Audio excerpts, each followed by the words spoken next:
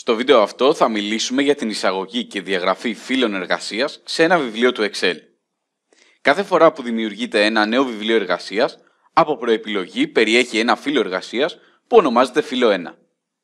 Κατά την εργασία σας στο Excel, καλό θα είναι να χρησιμοποιείτε ξεχωριστά φύλλα εργασίας για να αποθηκεύετε δεδομένα, όπως για παράδειγμα για διαφορετικά έτη ή για διαφορετικά πρόσωπα. Σε ένα βιβλίο εργασίας μπορείτε να προσθέσετε και άλλα φύλλα να αντιγράψετε υπάρχον φύλλα ή εάν τα φύλλα δεν τα χρειάζεστε, μπορείτε να τα διαγράψετε. Θα σας δείξω αρχικά τον τρόπο με τον οποίο μπορείτε να προσθέσετε ένα νέο φύλλο εργασίας στο Excel. Σε ένα βιβλίο εργασίας μπορείτε να προσθέσετε τόσα φύλλα εργασίας όσα επιτρέπει η διαθέσιμη μνήμη. Κάθε νέο φύλλο που προσθέτετε μετά το φύλλο 1 έχει αύξοντα αριθμό κατά ένα μεγαλύτερο του προηγουμένου, σε όποια θέση μεταξύ των φύλλων και αν εισάγεται. Για να εισάγω ένα νέο φύλλο, θα κάνω κλικ στο κουμπί Συν, Δημιουργία φύλλου, που βρίσκεται δεξιά από την καρτέλα φύλλο 1 και αμέσως εμφανίζεται το φύλλο 2. Μπορείτε επίσης να χρησιμοποιήσετε και τη συντόμευση Shift και F11 από το πληκτρολόγιο. Ένας άλλος τρόπος εισαγωγής φύλλου είναι να επιλέξετε την καρτέλα του φύλλου αριστερά από την οποία θέλετε να εμφανιστεί το νέο φύλλο και να κάνετε κλικ από την ομάδα εντολών κελιά της καρτέλας κεντρική στο βέλος δεξιά της εντολής εισαγωγή και από το μενού που εμφανίζεται να επιλέξετε εισαγωγή φύλου.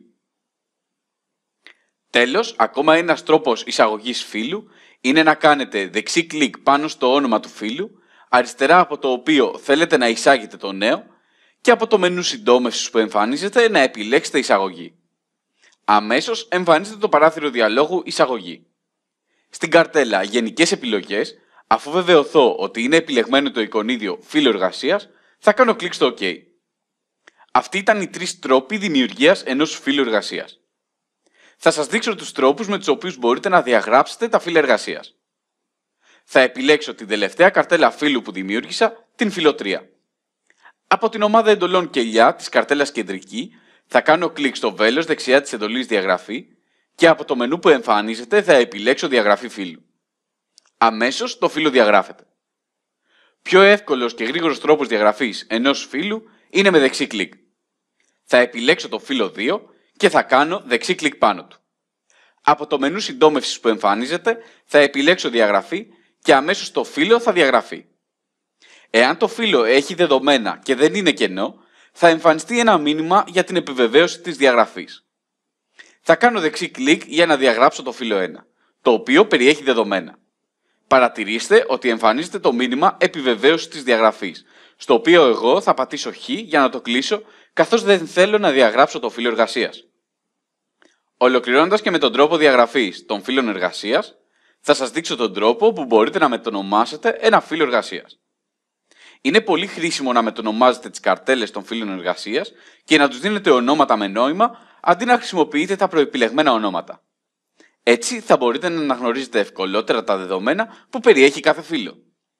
Αν για παράδειγμα χρησιμοποιείτε ένα βιβλίο εργασίας στο οποίο καταγράφετε τα οικογενειακά έσοδα και έξοδα, μπορείτε να ονομάσετε τις καρτέλες Ιανουάριος, Φεβρουάριος κτλ. ώστε να υποδηλώνουν ότι περιέχουν τα έσοδα και έξοδα του αντίστοιχου μήνα. Εγώ, στο συγκεκριμένο παράδειγμα, θα μετονομάσω το φύλλο 1 σε αποτελέσματα εξετάσεων. Για να το κάνω αυτό, με επιλεγμένη την καρτέλα, θα κάνω διπλό κλικ πάνω της.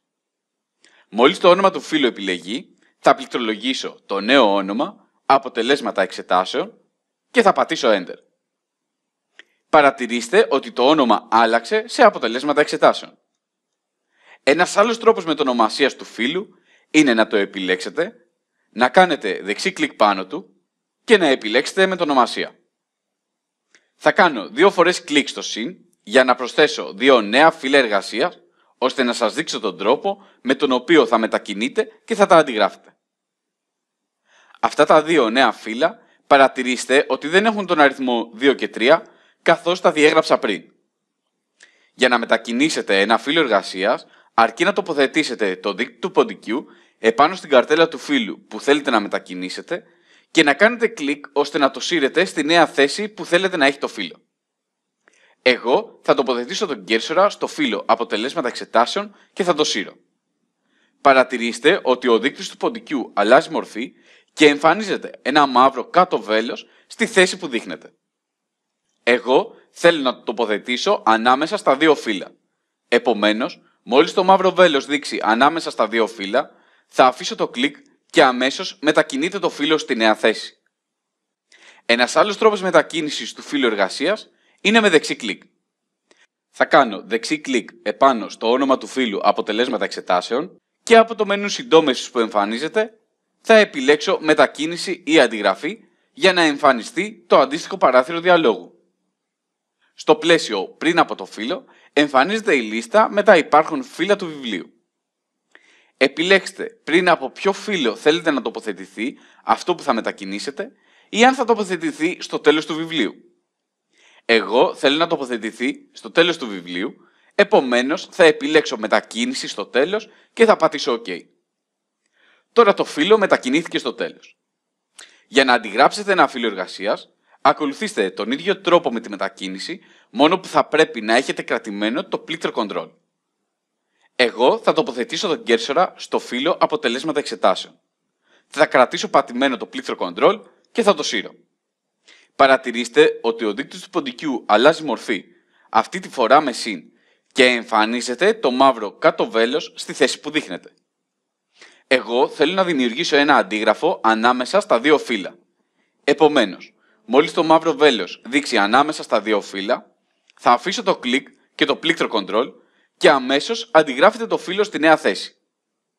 Το νέο φύλλο έχει το ίδιο όνομα με το αρχικό και έναν αριθμό δεξιότερα, ο οποίος προσδιορίζει ότι είναι αντίγραφο.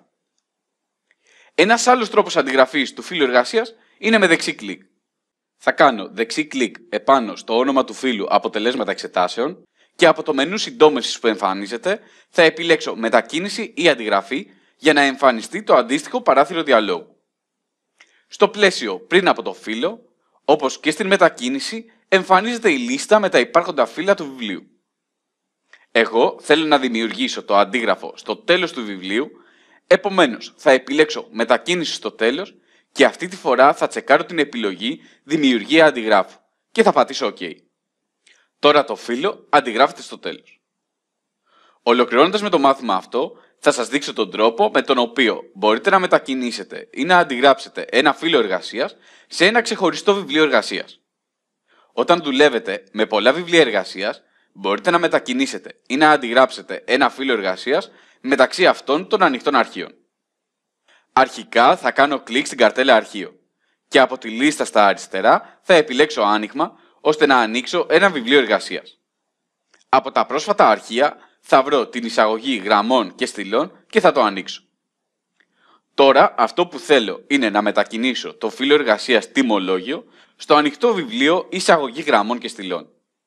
Θα κάνω δεξί κλικ επάνω στο φύλλο και από το μενού συντόμευσης που εμφανίζεται θα επιλέξω μετακίνηση ή αντιγραφή για να εμφανιστεί το αντίστοιχο παράθυρο διαλόγου. Στην αναπτυσσόμενη λίστα στο βιβλίο, επιλέξτε το βιβλίο εργασίας που θέλετε να μετακινηθεί ή να αντιγραφεί το επιλεγμένο φύλλο εργασίας. Εγώ θα επιλέξω το βιβλίο εργασίας, εισαγωγή και διαγραφή φύλων εργασίας. Και από την επιλογή παρακάτω θα επιλέξω το που θα μετακινηθεί το νέο φύλλο. Αφού κάνω όλες τις επιλογές που θέλω, θα πατήσω OK στο παράθυρο. Παρατηρήστε ότι στο βιβλίο εργασίας έχει μετακινηθεί το φύλλο. Με τον ίδιο ακριβώς τρόπο θα μπορούσατε να αντιγράψετε ένα βιβλίο εργασίας. Αρκεί να επιλέξετε δημιουργία αντιγράφου από το παράθυρο διαλόγου. Πειραματιστείτε τώρα και εσείς με όλες τις επιλογές μετακίνησης και αντιγραφής των φύλων εργασίας προκειμένου να εξοικειωθείτε.